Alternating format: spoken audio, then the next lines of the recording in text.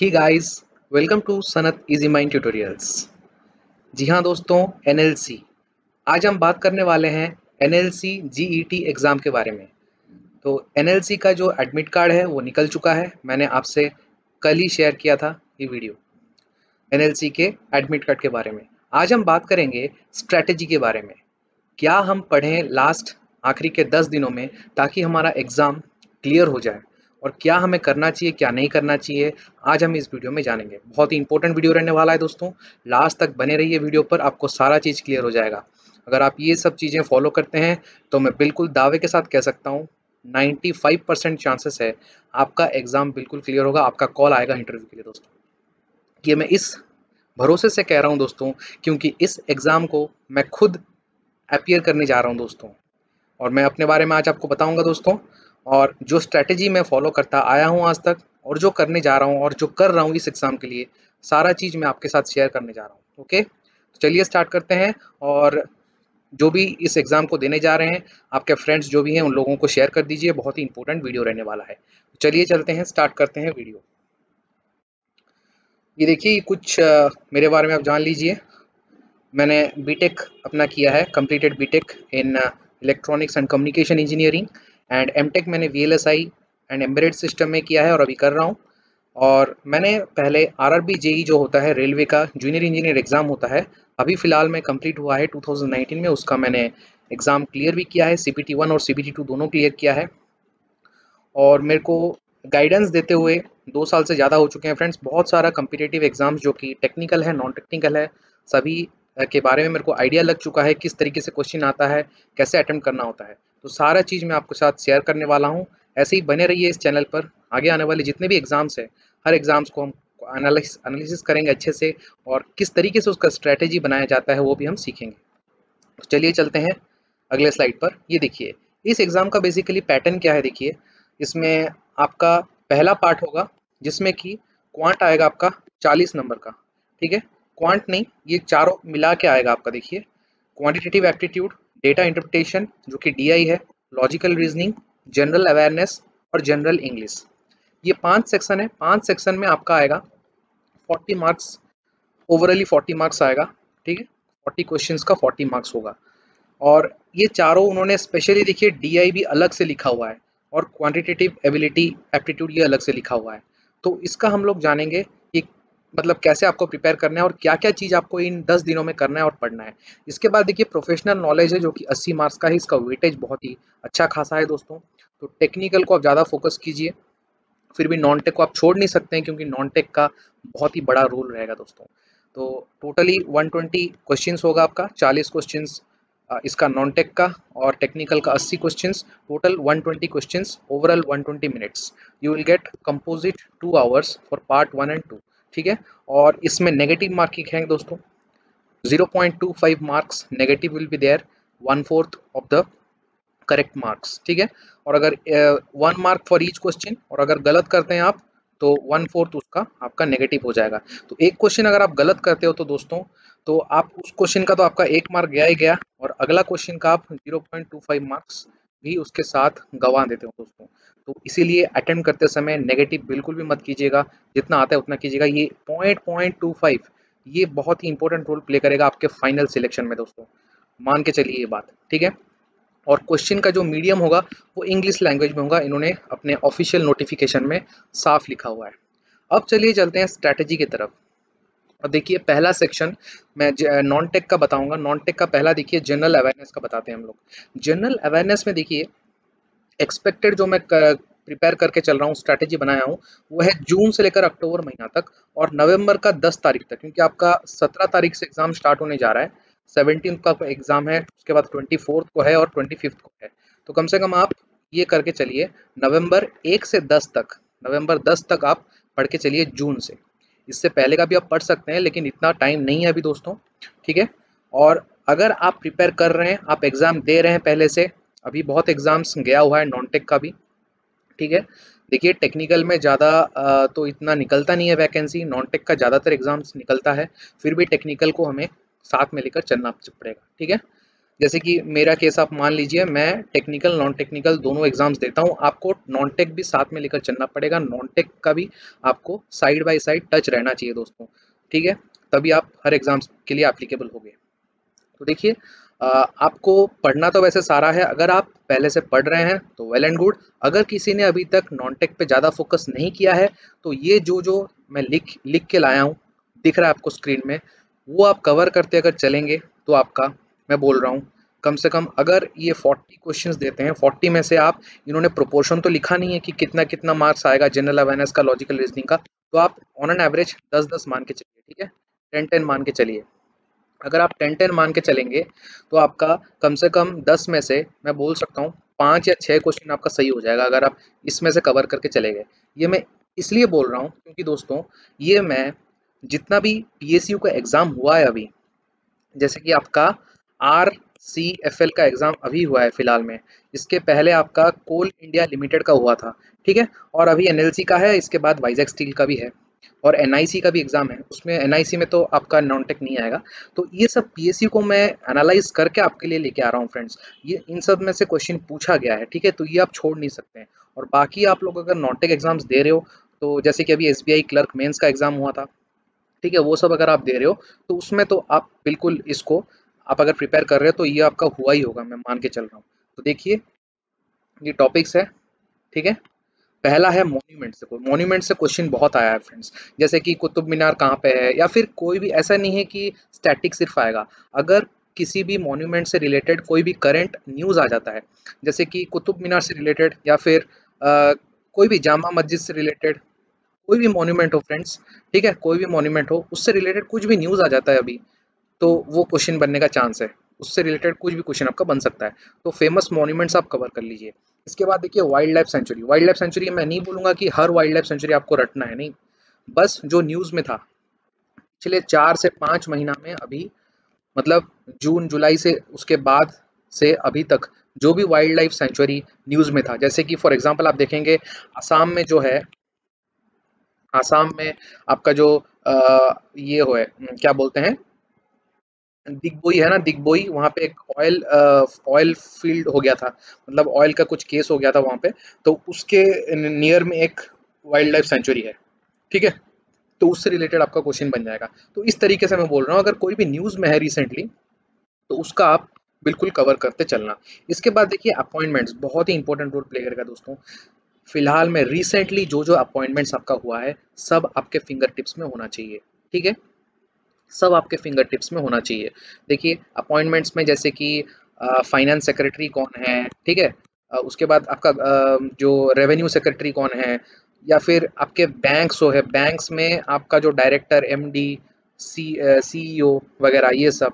इसके बाद जो ऑर्गेनाइजेशन है ऑर्गेनाइजेशन है जैसे कि इंटरनेशनल ऑर्गेनाइजेशन हो गया डब्ल्यूएचओ हो गया, इसके बाद आपका यूनाइटेड नेशंस का जितने भी सारे ऑर्गेनाइजेशन है, सभी का आपको डायरेक्टर सीईओ e उसका हेडक्वार्टर वगैरह सब टिप्स में होना चाहिए। और अभी रिसेंट में जो जो अपॉइंटमेंट्स हुआ है, बाद में मैंने लिखा है, देखिए गवर्नर और सीएम ये भी बहुत इंपॉर्टेंट रोल प्ले करेगा।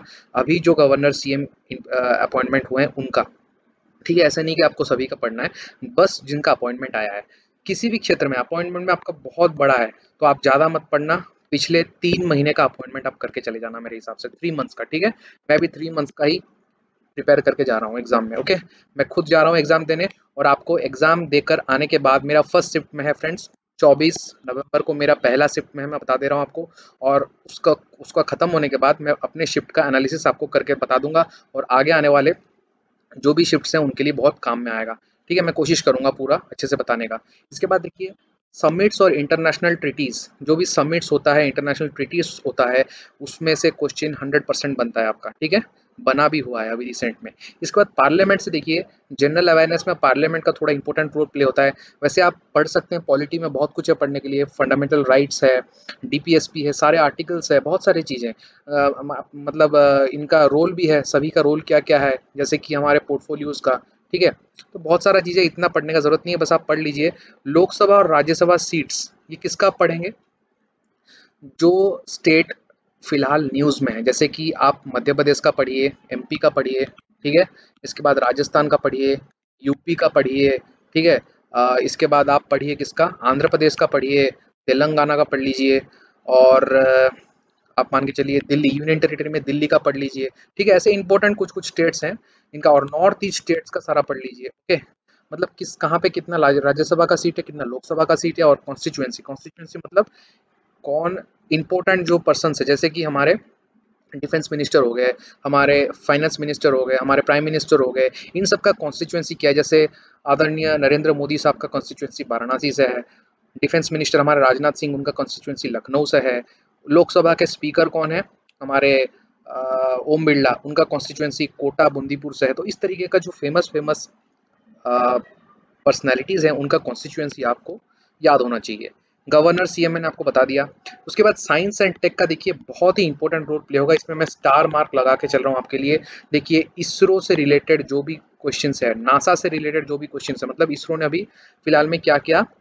अपना लॉन्च किया है सैटेलाइट्स वगैरह, ठीक है? और कुछ स्कीम्स भी लॉन्च किया है इसरो ने। इसरो ने कुछ नया इनिशिएटिव लिया है। सब चीज़ आपको टिप्स में होना चाहिए रिसेंट फोर फाइव मंथ्स का, ठीक है? सारा चीज़ आ सकता है, नासा के बारे में।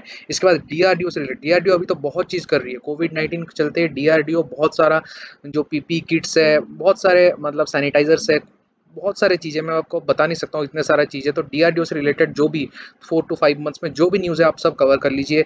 आईआईटी से रिलेटेड, इसके बाद देखिए आईआईटी का बता रहा हूँ मैं आपको। आईआईटी से रिलेटेड देखिए आईआईटी बहुत सारे आईआईटी ने, जो भी गांधी, गांधीनगर आईआईटी इसके बाद Kanpur IIT IIT Bombay, IIT Madras, बहुत सारे हैं। उन जिस, जो भी आईआईटी ने जिस, जो भी चीज़ इन्वेंट किया है, कोरोना से रिलेटेड कोई भी मशीन इन्वेंट किया है, सब चीज़ आप पढ़ के चलिए। इसके बाद देखिए आईसीएमआर से रिलेटेड आईसीएमआर इंपॉर्टेंट क्यों है? क्योंकि वैक्सीनेशन तैयार होने के लिए आईसीएमआर का बहुत बड़ा रोल है इंडिया में। तो आईसीएमआर से रिलेटेड जो भी न्यूज़ है, इसका हेडक्वार्टर कहाँ पे है, इसके कौन हेड है, ठीक है, सब चीज़ आप पढ़ लीजिएगा।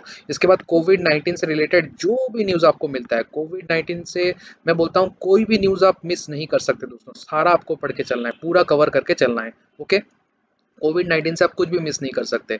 तो ये भी पूरा पढ़ लेना आप ओके इसके बाद देखिए जनरल साइंस जनरल साइंस में आपको कुछ कुछ पढ़ना है, बहुत सारा चीज़ें इसमें भी, लेकिन मैंने ये चीज़ क्यों लिखा है, इसका एक मीनिंग है विटामिन और डिजीजेस ठीक है? और vaccine for bacterial and virus disease देखिए। तो जो विटामिन और डिज़ीज़ ये क्यों लिखा हूँ मैं? कौन सा विटामिन से कौन सा डिज़ीज़ होता है? किस विटामिन के कमी से क्या डिज़ीज़ होता है? ये इंपॉर्टेंट क्यों है अभी? क्योंकि ये ये एक पब्लिक टॉपिक बना हुआ है दोस्तों। क्योंकि कोरोना के, से बचने के लिए बहुत सारे लोग विटामिन बी सी डी इसका प्रयोग कर रहे हैं। मतलब कौन सा विटामिन खाने से आपको वैक्सीन आपका इम्यूनिटी लेवल बढ़ेगा, आपका स्ट्रेंथ बढ़ेगा, ठीक है? आपको कोविड नाइन्टीन अटैक से आपका मतलब चांसेस कम हो जाएगा तो इस तरीके से। इसलिए सारा विटामिन और डिजीजेस स्पेशली विटामिन बी का जो है B one B two B three इस तरीके से उसका जो nine B nine B twelve ठीक है? जो भी इंपॉर्टेंट है, सारा B vitamin C vitamin D के ठीक है? उसके बाद ए ये सब कवर करते चलिए आप ओके और इसके बाद देखिए वैक्सीन जो भी पहले वैक्सीन थे, हमारे बैक्टीरियल डिज़ीज़ कौन कौन से है? वायरल डिज़ीज़ कौन कौन से, याद कर लीजिए। और उसका क्या क्या वैक्सीन अभी तक तैयार हुआ है बन के वो याद कर लीजिए। बस इतना चीज़ आप जनरल साइंस से पढ़िए। पढ़ने के लिए देखिए दोस्तों, बहुत कुछ है। लेकिन मैं आपको मोस्ट एक्सपेक्टेड बता के चल रहा हूँ, ठीक है? इसके बाद देखिए स्पोर्ट्स और इवेंट्स स्पोर्ट्स और इवेंट्स में बहुत ही इंपॉर्टेंट है, जो भी जैसे कि वर्ल्ड कप हो गया। Women's world cup men's world cup अभी आईपीएल चल रहा है आपका। आईपीएल के बाद अभी देखिए Jio women's T twenty start हुआ है। उसी आईपीएल के अंदर ही चल रहा है, ये अभी यूएई में ही चल रहा है। तो पूछ लेगा इसका कौन सा एडिशन है? ये क्वेश्चन आया था अभी। S B I clerical mains में ये क्वेश्चन आया था, कौन सा एडिशन है जियो वुमेन्स टी ट्वेंटी का? तो ये थर्ड एडिशन है। लोगों को लगा होगा ये पहली बार हो रहा था फ़र्स्ट मार्क आ जाएँगे। तो ऐसा गलती नहीं क्योंकि इसको ज़्यादा लोग ध्यान नहीं देंगे। ज़्यादा आईपीएल को ध्यान देंगे तो इसके बारे में पूछ लेगा वो। उसी के संदर्भ में चल रहा है, ठीक है? तो इस तरीके का। तो ये हो गया। इसके बाद आपका हो गया जो फीफा का वर्ल्ड कप्स है। फीफा का women's world cup men's world cup ठीक है? और बाकी सारे स्पोर्ट्स के जो इवेंट्स है, जैसे कि बॉक्सिंग इवेंट हो गया, या फिर अभी रिसेंटली जो जो इवेंट्स हुआ है एथलेटिक्स का, उसके बाद टोक्यो ओलंपिक्स होने वाला था, वो रीशेड्यूल हो गया, कहाँ पे होगा, ठीक है? उसके बाद आपका जो भी जैसे कि फुटबॉल का मैंने बता दिया फुटबॉल का बहुत सारा है, जैसे कि अंडर सेवेंटीन है अंडर नाइनटीन है, ठीक है? और मेंस फीफा वर्ल्ड कप भी है।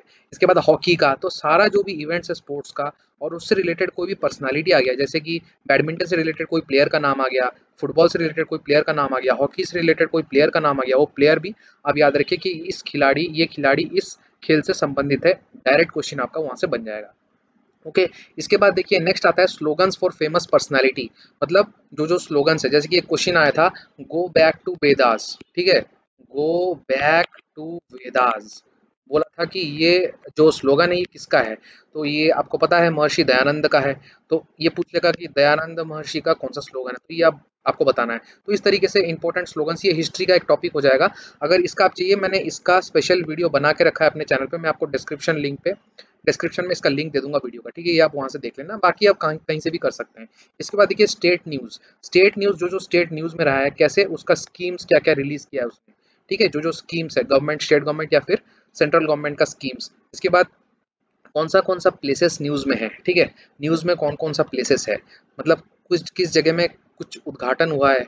कोई ब्रिज तैयार हुआ है? कोई टनल तैयार हुआ है? जैसे कि अटल टनल अभी तैयार हो मतलब अभी फ़िलहाल में तैयार हुआ था। तो इस तरीके से कौन कौन सा जगह है, ये सब आपको ध्यान रखना है रिसेंटली इसके बाद बजट बहुत इंपॉर्टेंट रोल प्ले करेगा। बजट में आपको बस ध्यान रखना है क्या? एजुकेशन ठीक है?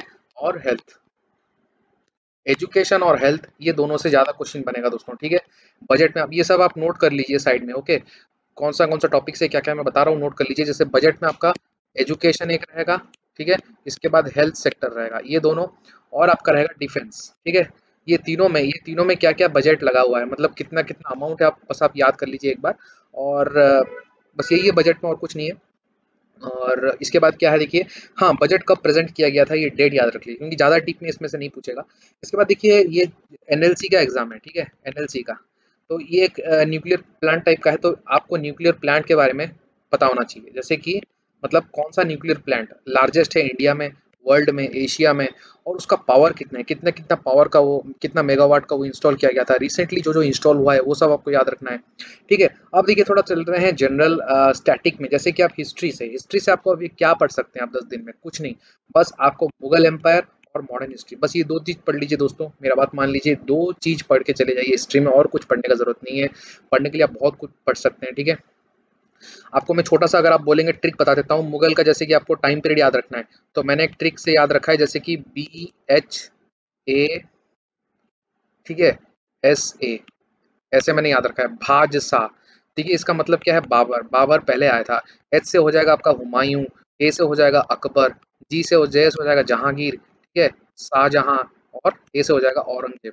तो ये एक आपका ऑर्डर हो गया। इसके बाद भी बहुत सारे हैं, लेकिन ये इंपॉर्टेंट है। इस तरीके का बोल रहा हूँ, मुगल एम्पायर से जो भी चीज़ आता है, इनसे रिलेटेड जो जो चीज़ इनका हुआ है, किसने क्या ऑटोबायोग्राफी लिखा है, क्या बुक लिखा है, ठीक है? और किसका शासनकाल कहाँ तक था, ये सब आप ध्यान रख लीजिए। और मॉडर्न हिस्ट्री में थोड़ा पढ़ लीजिएगा। फ्रेंड्स मॉडर्न हिस्ट्री में जो जो चीज़ हुआ था, बस डेट्स आपको याद रखना है। ज़्यादातर आपको डेट से ही क्वेश्चन आ जाएगा, ठीक है? जो भी डेट्स है, वो सब आप याद रख लीजिए। और आपका रिवोल्ट जो हुआ था 1857 का रिवोल्ट हुआ था, ठीक है? 1857 का रिवोल्ट से लेकर 1947 तक आप याद रख लीजिए, बस काफ़ी है मॉडर्न हिस्ट्री में, ठीक है? अगर आप नहीं याद कर सकते हैं इतना तो बस आप डेट्स थोड़ा याद कर लीजिए और मुगल एम्पायर का बस ऑर्डर याद कर लीजिए, बस इतना भी करके चले जाइए, आपको कुछ काम बन जाएगा, ठीक है?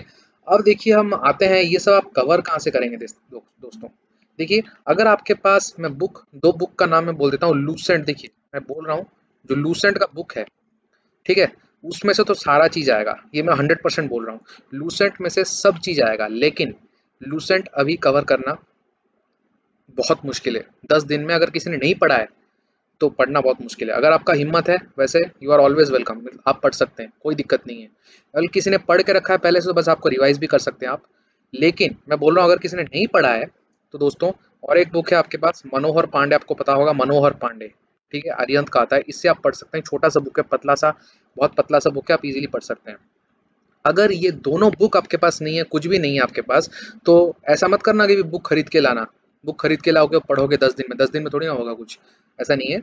आप बस क्या करना गूगल में जाना या फिर यूट्यूब में जाना, ठीक है? यूट्यूब में जाके आप लोग सर्च मार देना। ये जो टॉपिक्स में बोला हूँ, जैसे कि आप यूट्यूब में लिखोगे जाके, ठीक है? क्या लिखना है आपको? मॉन्यूमेंट्स मॉन्यूमेंट्स इन न्यूज़ बस आप ये लिख देना। या फिर करंट अफेयर्स मॉन्यूमेंट्स ऐसे लिख देना। तो या फिर सिर्फ़ मॉन्यूमेंट्स लिख देना तो आपको वीडियो मिल जाएगा बहुत सारा अच्छे जगह से, आप पढ़ लेना। सब टॉपिक का बस नाम मार देना जाके गूगल में सर्च कर लेना यूट्यूब में सर्च कर लेना और कवर कर लेना फ्रेंड्स मैं बोल रहा हूँ, मान के चलिए आपको अभी किसी चीज़ पर ध्यान नहीं देना है, बस आपको पढ़ाई पे ध्यान देना है, आपको देखना है कि कैसे मेरा टॉपिक खत्म होगा। ज़्यादा नहीं फ्रेंड्स पाँच से दस मिनट लगेगा एक टॉपिक आपको खत्म करने में, दस से पंद्रह मिनट में, ज़्यादा नहीं बोल रहा हूँ, पंद्रह मिनट में हो जाएगा, ठीक है? आपको सब चीज़ यूट्यूब से मिल जाएगा। अब चलते हैं अगले सेक्शन में, देखिए। इतना क्वेश्चन आने का चांस इसमें से नहीं है। वैसे भी अगर आ जाता है, कितना रेशियो उन्होंने नहीं बोला है। मैं मान के चल रहा हूँ दस दस क्वेश्चन ठीक है? इससे ज़्यादा भी आ सकता है किससे पंद्रह आ सकता है किससे पाँच आ सकता है, ऐसा भी हो सकता है। अब देखिए न्यूमेरिकल एबिलिटी और डी आई डी आई उन्होंने स्पेशली लिखा है। देखिए, जो आर सी एफ़ एल का एग्ज़ाम हुआ था, ठीक है? उसमें क्या हुआ था? इन्होंने थोड़ा डी आई बैंकिंग लेवल का पूछ दिया था, क्योंकि आई बी पी एस करवा रही थी। तो ये वाला एनएलसी भी आईबीपीएस ही करवा रही है मेरे शायद से, ठीक है? और अगर आईबीपीएस करवा रही है तो आपको थोड़ा बैंकिंग और आपको क्या बोलते हैं एसएससी दोनों का मिक्स पैटर्न लेके चलना पड़ेगा। एक चीज़ मैं आपको बताना भूल गया फ्रेंड्स जनरल अवेयरनेस में बैंक्स का भी थोड़ा पढ़ के चले जाना, आप मिस मत करना। क्यों रिस्क लेना है? बैंक्स का क्या आपको पढ़ना है? बस कुछ कुछ बैंक्स का हेडक्वार्टर पढ़ लेना है, ठीक है? और उनमें कौन कौन सीईओ अभी फ़िलहाल में अपॉइंट हुए पढ़ लेना है और बैंक्स का आपको स्कीम्स पढ़ लेना है। को, कौन सा बैंक ने क्या स्कीम निकाला है? फॉर एग्ज़ाम्पल एस जो बैंक है एसबीआई बैंक ने अभी निकाला है शगुन स्कीम ठीक है? एस बी बैंक ने क्या निकाला है, शगुन स्कीम। तो इस तरीके से आप पढ़ सकते हैं। अगर आपको हेडक्वार्टर याद करना है हेडक्वार्टर आप इजीली याद कर सकते हैं। जैसे जो भी बैंक आई से स्टार्ट हो रहा है, ठीक है? इंडियन ओवरसीज बैंक इस तरीके का, उनका सब हेडक्वार्टर चेन्नई में होता है। इस तरीके से ट्रिक से आप याद कर सकते हैं। मतलब ज़्यादा समय नहीं लगेगा आपको फ्रेंड्स पाँच से दस मिनट लगेगा। आप बस यूट्यूब में सर्च कर लेना, ठीक है फ्रेंड्स यूट्यूब में सर्च कर लेना, आपको मिल जाएगा सारा टॉपिक्स ओके अब चलिए चलते हैं तो अगला में। तो बैंक का क्यों छोड़ के जाना? बैंक का छोड़ के मत जाइए। कुछ भी हो सकता है। IBPS खेल कर सकता है फ्रेंड्स थोड़ा यहाँ से डाल भी सकता है ओके बैंकिंग टाइप का। तो यहाँ पे देखिए आपका न्यूमेरिकल एबिलिटी और टीआई जो है इसमें एज प्रपोर्शन ये जो टॉपिक में लिखा हूँ, इसको आप छोड़ के जा ही नहीं सकते। अगर आप पहले से एग्ज़ाम दे रहे हैं तो वेल एंड गुड बस ये टॉपिक रिवाइज करके चले जाना, ठीक है? वरना अगर आप अभी पढ़ रहे हैं तो आप age ratio proportion percentage percentage का जो बेसिक परसेंटेज है मतलब क्वेश्चन आता है बेसिक परसेंटेज से, जैसे कि एक सिटी दिया हुआ है सिटी का पॉपुलेशन दिया हुआ है उसमें कुछ मेल्स है, कुछ फीमेल्स है और मेल्स में मान लीजिए टेन परसेंट का इजाफा हो गया मतलब इंक्रीमेंट हो गया फीमेल्स में कुछ परसेंट का डिक्रीमेंट हो गया इस तरीके से तो दो साल के बाद टोटल पॉपुलेशन कितना होगा? इस तरीके का क्वेश्चन आ सकता है परसेंटेज का बेसिक्स में। इसके बाद देखिए इनकम एक्सपेंडिचर इनकम और एक्सपेंडिचर जैसे इनकम बढ़ गया आपका पाँच परसेंट से और एक्सपेंडिचर कम हो गया आपका दस परसेंट से है ना तो ओवरऑल क्या होगा, उसको बताइए प्राइस कंजप्शन इस तरीके का क्वेश्चन आप करके चले जाइए। मतलब बस आपको इसमें भी कुछ नहीं करना है दोस्तों। अगर आपके पास आर एस अग्रवाल है, मान लीजिए, अगर आपको कोई भी कॉन्सेप्ट नहीं आता है आर एस अग्रवाल से बस कॉन्सेप्ट पढ़ लीजिए, बहुत ही सिंपल बेसिक तरीके से दिया होगा, और उसका क्वेश्चन आप कैसे कर सकते हैं? आप कोई भी बुक अगर आपके पास है बैंकिंग का आप लगा सकते हैं, या फिर एसएससी का लगा सकते हैं।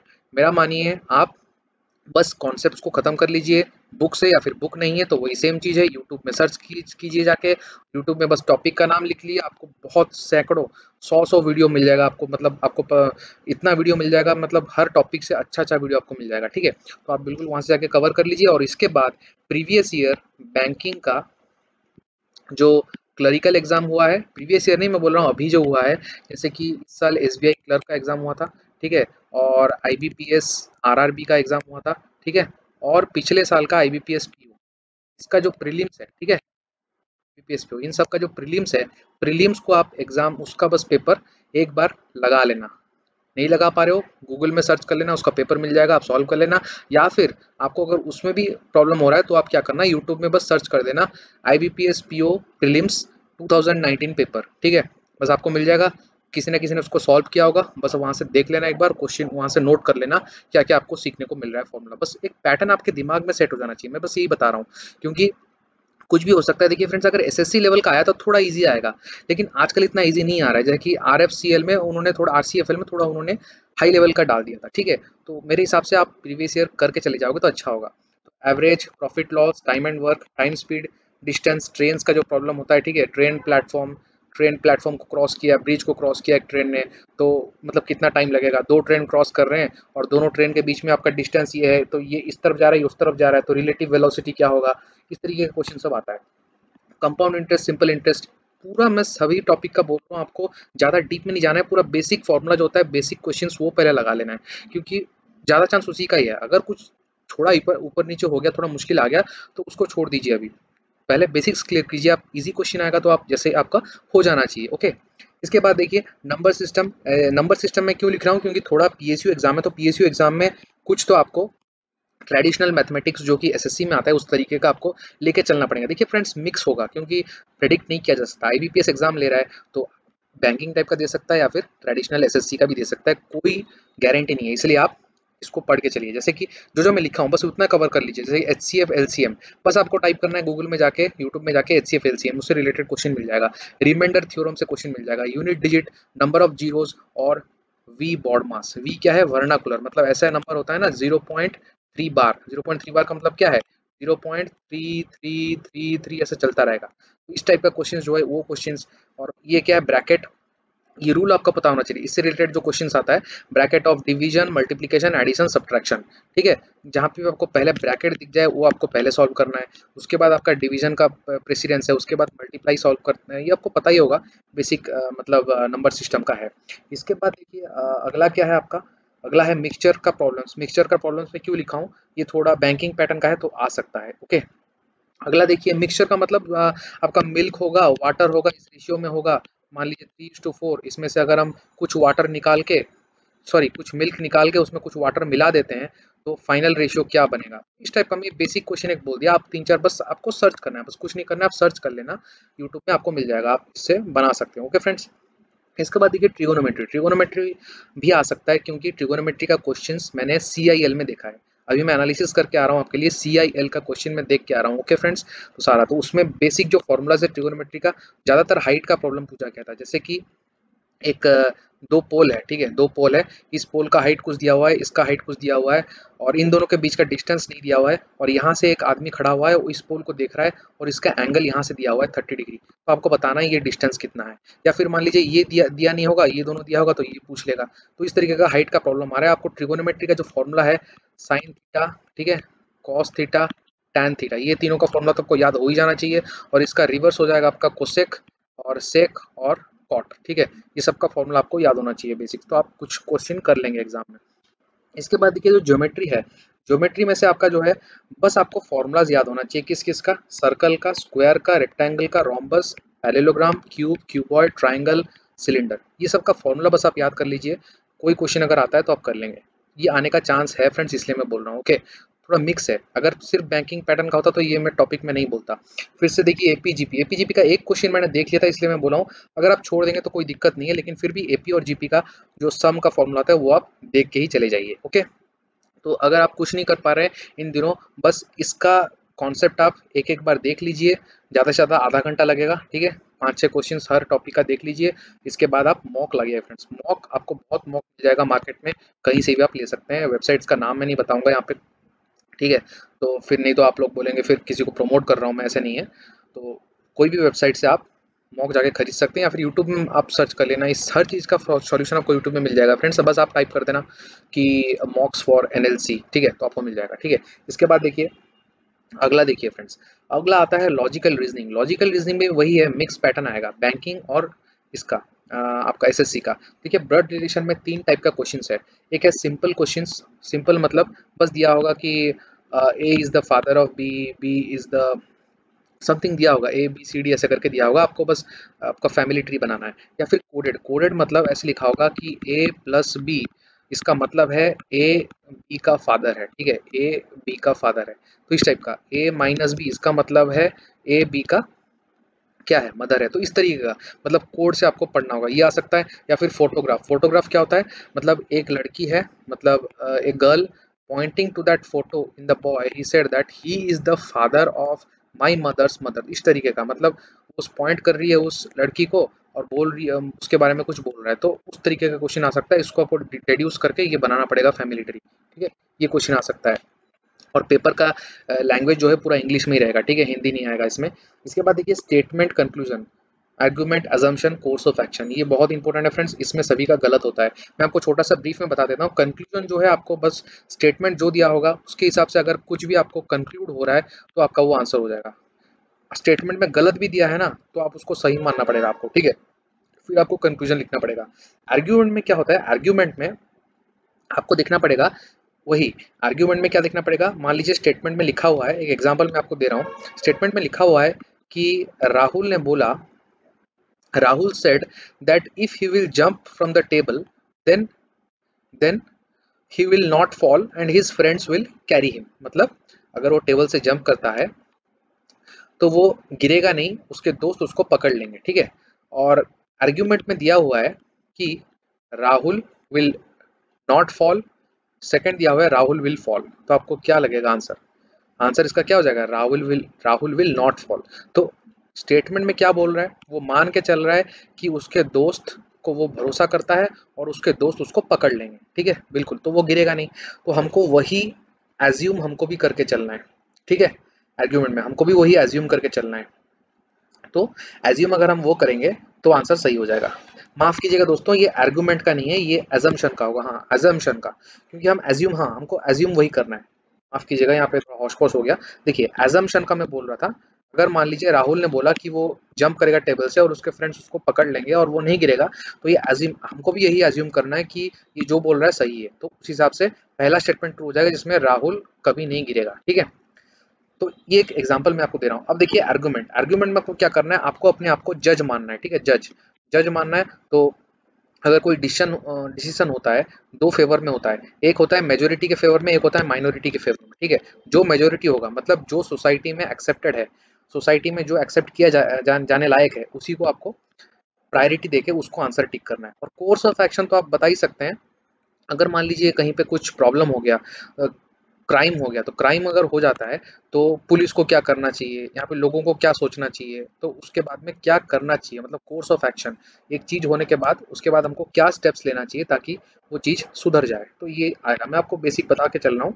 थोड़ा मेरे को आइडिया था, ये बता दिया मैंने आपको, ठीक है? तो इस तरीके से आपको सॉल्व करना है। इसके बाद ये काउंटिंग फिगर्स अगर बैंकिंग पैटर्न में आता है तो ये आने का चांस कम है, लेकिन फिर भी ये पीएसयू है तो कुछ भी हो सकता है मिक्स आ सकता है तो इसलिए ट्राइंगल का स्क्वायर का और रेक्टेंगल का, बस आपको यूट्यूब में सर्च करना है। काउंटिंग फिगर्स आपका एन नंबर ऑफ़ वीडियोस आपको मिल जाएगा और बहुत ही अच्छे तरीके से आपको समझ में आ जाएगा। तो ट्राइंगल स्क्वायर्स ये सब आप ध्यान रख लेना इसके बाद नंबर सीरीज़ में देखिए नंबर सीरीज़ में भी आपका आ सकता है। जैसे कि आपको तीन तरीके का नंबर सीरीज़ में आपको तीन टाइप का एक नंबर दिया होगा, एक और एक नंबर और एक नंबर तो बाकी वाला पूछा होगा। तो इसमें आपका बेसिकली क्या बनता है? डिफरेंस से बनता है। कुछ भी नहीं आ रहा तो डिफरेंस लगा लीजिए। या फिर सिंगल डिफरेंस में नहीं आ रहा है तो डबल डिफरेंस लगा लीजिए इस तरीके का, ठीक है? या फिर मल्टीप्लाई अगर नंबर बहुत ज़्यादा बढ़ जा रहा है। मतलब आठ आठ के बाद हो जा रहा है चौसठ चौसठ के बाद वन ट्वेंटी ऐसे बढ़ता जा रहा है पूरा। तो आपका मल्टीप्लीकेशन होगा आपको यहाँ से पता रख, रखना है। फ्रैक्शन फ्रैक्शन में ऐसा हो सकता है आपका पहला मतलब मान लीजिए आठ है उसके बाद चार है उसके बाद फिर आठ है। मतलब यहाँ पे क्या हुआ? ज़ीरो पॉइंट फाइव हुआ। मतलब टू से डिवाइड हुआ। फिर टू से मल्टीप्लाई हुआ इस तरीके का। तो ये फ्रैक्शन का है। इस तरीके की बनता है आपको पता होगा। ठीक है? तो ये आप थोड़ा क्वेश्चंस लगा लेना। प्रीवियस ईयर एसएससी का क्वेश्चन लगा लेना, आपको सफिशियंट हो जाएगा, ठीक है? बस आप, अगर क्वेश्चन आपके पास बुक मैं बोल रहा हूँ बुक किसी के पास अगर नहीं है तो डायरेक्टली आप यूट्यूब में सर्च कर लेना प्रीवियस ईयर एसएससी क्वेश्चन अभी एसएससी सीजीएल का जो एग्ज़ाम हुआ था उसका 2020 में ही हुआ था, मार्च के महीने में, मार्च समथिंग फ़र्स्ट वीक में हुआ था तो उसको लगा लेना बस, काम खत्म। यूट्यूब में सर्च कर लेना, एक दो एक दो पेपर देख लेना, हो जाएगा। मतलब आपके माइंड में एक पैटर्न सेट होना चाहिए कि एग्ज़ाम में आप, आपका हाथ नहीं अटकना चाहिए मतलब आपको टाइम नहीं लगना चाहिए, बस वही है। बाकी क्वेश्चन तो इजी रहेगा, आप कर ही लेंगे, ठीक है? क्योंकि एक क्वेश्चन का एक मिनट यहाँ पे 120 ट्वेंटी क्वेश्चन वन मिनट तो एक मिनट दे रहा है तो आराम से आप कर लेंगे। फिगर फिगर में आपका देखिए, एक फिगर है, उसके बाद कुछ फिगर दिया हुआ है, कुछ भी, ठीक है? तो उसके बाद क्या होगा? पैटर्न आपको पता करना है, या फिर एम्पेड एम्पेड मतलब कोई फिगर के अंदर कुछ चीज़ छुपा हुआ है तो कौन से फिगर के अंदर वो चीज़ छुपा हुआ है, आपको वो बताना है ऑप्शन में से। और इसके बाद है सीरीज़ भी आ सकता है, इसमें एनालॉजी भी आ सकता है, ठीक है? तो ये बहुत ईजी होगा। ज़्यादा मुश्किल नहीं होगा, इसमें आप कर ले जाएँगे। ऑर्डर रैंकिंग देखिए ऑर्डर रैंकिंग में क्या है? मतलब क्लास में इतने सारे बच्चे हैं और बच्चों में से राहुल का रैंक ट्वेंटी फिफ्थ है फ्रॉम द टॉप तो बॉटम बॉटम से किसी का रैंक है थर्टी वन तो उन दोनों के बीच में कितने बच्चे हैं? तो इस तरीके का क्वेश्चन आ सकता है ऑर्डर रैंकिंग में, ये आपको आराम से मिल जाएगा गूगल में। ठीक है? इसको देखिए नंबर एनालॉजी नंबर एनालॉजी वही है। मान लीजिए यहाँ पे दिया हुआ है eight related to sixty four the same way ten related to आठ टेन एट का स्क्वायर है तो टेन का स्क्वायर हंड्रेड हो जाएगा। इस तरीके से नंबर एनालॉजी ठीक है? उसके बाद सिलोलिजन तो आप छोड़ ही नहीं सकते हो। ये बैंकिंग हो या एसएससी हो, कोई भी तरीके का हो, ये आएगा ही आएगा। और पजल्स ये देखिए R C F L exam में उन्होंने पजल्स डाल दिया था, थोड़ा सीटिंग अरेंजमेंट डाल दिया तो आप मेरे मानिए I B P S P O prelims अभी जो हुआ है I B P sorry S B I prelims उसका पेपर लगा के चले जाइए। ओके, बस, काफ़ी हो जाएगा। एनालॉजी ये तो आता ही है आपको एनालॉजी मतलब कोई भी चीज़ लिख देगा। ये इससे ऐसे संबंधित है तो ये उससे कैसे संबंधित होगा? तो इस तरीके के क्वेश्चन है। अल्फ़ाबेट कोडिंग चाइनीज़ कोडिंग ये आप करके चले जाना। सारे अल्फ़ाबेट्स का मैंने अपना एक जो वीडियो बनाया था, उसमें आईसीसीआर का स्ट्रैटेजी वाला वीडियो था, उसमें मैंने बताया था। अल्फ़ाबेट्स का कैसे आपको याद रखना है मतलब उसका पोजिशन ठीक है? और वाटर इमेज मिरर इमेज अगर एसएससी का डालते हैं तो ये आने का चांसेस है, वरना नहीं है। इनइक्वालिटी क्यों मैं लिखा हूँ क्योंकि बैंकिंग का क्वेश्चन थोड़ा आ सकता है। तो रीजनिंग से ये एक्सपेक्टेड टॉपिक बन रहा है। आप इसको एक एक बार, हर हर एक का मतलब दो तीन क्वेश्चन देख के चले जाइए, ठीक है? आपका काम बन जाएगा। इसके बाद आके नेक्स्ट सेक्शन में हम चलते हैं, जो कि है जनरल इंग्लिश देखिए जनरल इंग्लिश में सिनोनिम्स और एंटोनिम्स बहुत इंपॉर्टेंट रोल प्ले करेगा। मैं आपके लिए कुछ लिख के रखा हूँ। मैं आपके साथ शेयर करना चाहता हूँ। जो CIL का एग्ज़ाम हुआ था, उसमें आपका एंटोनिम और सिनोनिम से फाइव एंटोनिम सिनोनिम से आपका छः क्वेश्चन आया था, ठीक है? छः क्वेश्चन छः मार्क आया था। इसके बाद आपका देखिए, जो फिलर्स है फिलर्स ग्रामर से रिलेटेड ग्रामर कुछ इन्वॉल्व हो सकता है, उसमें प्रीपोजिशन आ सकता है, जैसे कि ऑन इट बाई अब फ्रेजल वर्ब्स का रोल प्ले हो सकता है ईडियम्स और ईडियम्स का भी इंपॉर्टेंट रोल है। तो इन सबसे रिलेटेड आपका फिलर्स आ सकता है फिल इन द ब्लैंक्स तो इसमें से जो क्वेश्चन आया था सी आई एल में, दस क्वेश्चन आया था फ्रेंड्स टेन मार्क्स का क्वेश्चन आया था फिलर्स देखिए अब कितना इंपॉर्टेंट है। एरर से आपका दो क्वेश्चन आया था। एरर एरर थोड़ा का किसी किसी का गलत होता है, किसी का सही होता है तो आप, अगर आपको आता है तो आप कीजिए, वरना इसको स्किप कर दीजिए। जंबल सेंटेंस आप कभी मत मिस करना। बहुत ही लल्लू क्वेश्चन है। ये मार्क फेचिंग सेक्शन है, इसको हमेशा करके ही लेना। ये भी दो दो मार्क का आया था। इसके बाद आरसी जो होता है यहाँ पे स्टोरी बेस्ड बहुत सिंपल आरसी आएगा। फ्रेंड ज़्यादा मुश्किल नहीं आएगा। बैंकिंग टाइप का बिल्कुल नहीं आएगा। इजी आएगा। आप इजीली आरसी को एक बार पढ़ लोगे तो पाँचों के पाँचों क्वेश्चन आपके पाँच नंबर पक्के हैं, ठीक है? तो जनरल इंग्लिश का ये हो गया। इस पे मैं बुक आपको बता सकता हूँ S P Bakshi number one book है। मैं इससे फॉलो करता हूँ। वरना आप अगर नहीं करना चाहते हैं simple as simple as that go to YouTube simply search the topic name you will get everything everything A to Z you will get okay बस आप ये कर सकते हैं। दस दिन का टाइम आप इजीली कर सकते हैं। अब देखिए अब देखिए आता है प्रोफेशनल नॉलेज प्रोफेशनल नॉलेज जो है डिसिप्लिन वाई बेस्ड इसका जो डिसिप्लिन है, उस हिसाब से मार्क आएगा। इसका ज़्यादा वेटेज है एट्टी मार्क्स है तो ये आपका प्रैक्टिस में होगा। ये मैं मान के चलता हूँ। जिन लोगों ने भी टेक्निकल में पास आउट किया है तो टेक्निकल का एग्ज़ाम ही दे रहे हैं आप लोग। तो जो लोग भी एग्ज़ाम दे रहे हैं अभी तो उनका तो टच में होगा ही। और जिनका भी नहीं है, मैं बोलना चाहता हूँ, आपको बस क्या करना है, मान लीजिए पहला दोस्त कैटेगरी के बच्चे होंगे, जो अभी पास आउट होंगे फ्रेशर्स होंगे कुछ लोगों ने बहुत पहले पास आउट करके थोड़ा उनका अभी टच छूट गया होगा एग्जामिनेशन का, वो लोग मतलब अभी जॉब कर रहे होंगे या फिर कुछ प्रिपरेशन कर रहे होंगे। अगर मान लीजिए जॉब कर रहे हैं तो उन लोग लोग क्या करें? देखिए, मैं बोल रहा हूँ, पहला देखिए, जो फ्रेशर्स हैं, जो लोग अभी पास आउट किए हैं, वो लोग प्रिपरेशन के मूड में होंगे प्रिपरेशन कर रहे होंगे तो उनके लिए ईजी होगा।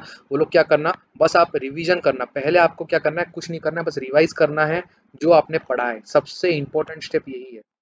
हम पहले क्या करते हैं हम बोलते हैं कि जो हम पढ़े उसको हम छोड़ देते हैं और बाकी जो बाकी है हमारा मतलब जो हमने नहीं पढ़ा है नया चीज़ वो हम कवर कर लेते हैं ताकि आ, हमारा सब कवर हो जाए। हम ऐसे सोचते हैं बिल्कुल गलत है दोस्तों। आपको पहले क्या करना है आपको पहले जो आपने पढ़ा है वो अच्छे से पढ़ना है पूरा आपको ठीक है? जो आपने पढ़ा है ऑलरेडी उसको अच्छे से आपको रिवाइज करना है ठीक है? जो आपने पढ़ा है और प्रैक्टिस किया है क्योंकि वो आपका मेहनत है दोस्तों।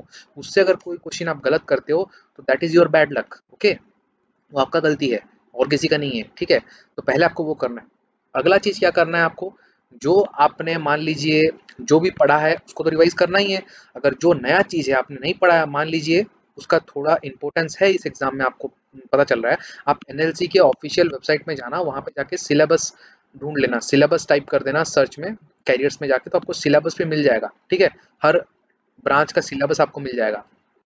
तो सिलेबस के हिसाब से अब क्या करना, बस बेसिक चीज़ जो है बेसिक फॉर्मूला और कॉन्सेप्ट उस टॉपिक का, ज़्यादा डीप मत जाना। थर्ड पॉइंट देखिए don't go in deep deep में बिल्कुल मत जाना। बहुत ईजी आएगा इसमें। टेक्निकल बहुत ईजी लेवल का आता है ओके पूरा बेसिक चीज़ जो उस मतलब जैसे ही हम पढ़ना स्टार्ट करते हैं उस टॉपिक को, जो चीज़ पढ़ते हैं ना, पहला पहला ही लाइन जो पढ़ते हैं, वो आपके दिमाग में होना चाहिए बस। आपका क्वेश्चन बन जाएगा। इसके बाद देखिए, अगला आपको क्या करना है?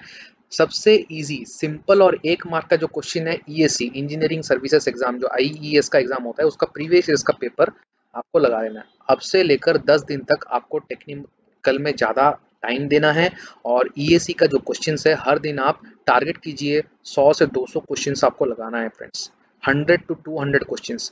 अगर आप खुद से नहीं लगा पा रहे हैं, आपने पहले से लगाया हुआ है तो आपको इजी हो जाएगा। अगर आप नहीं लगा पा रहे हैं खुद से तो आप क्या कर दीजिए यूट्यूब में जाके सर्च कीजिए। प्रीवियस ईयर ईएससी पेपर आपका ब्रांच का नाम डाल दीजिए। बहुत सारे लोग आपको मिल जाएँगे जो कि सर्च कर दिए होंगे, क्योंकि मेरे को पता है, जब आप खुद करने बैठते हो ना, जब आप खुद करने बैठते हो तो आपको थोड़ा मतलब दिक्कत होता है। आपको थोड़ा बोर लगता है, कभी लगता है, अरे छोड़ो, कितना पढ़ते हैं और नहीं पढ़ा जा रहा है। ऐसे लगता है। तो उस टाइम पर आप क्या करना, थोड़ा अपना लैपटॉप या मोबाइल लगा के आप सुन लेना, क्योंकि सुनने से चीज़ों को बहुत इफ़ेक्ट पड़ता है माइंड पर, ठीक है? आपको क्लिक करेगा एग्ज़ाम में। तो मैं बता रहा हूँ, अपना एक्सपीरियंस बता रहा हूँ, ठीक है?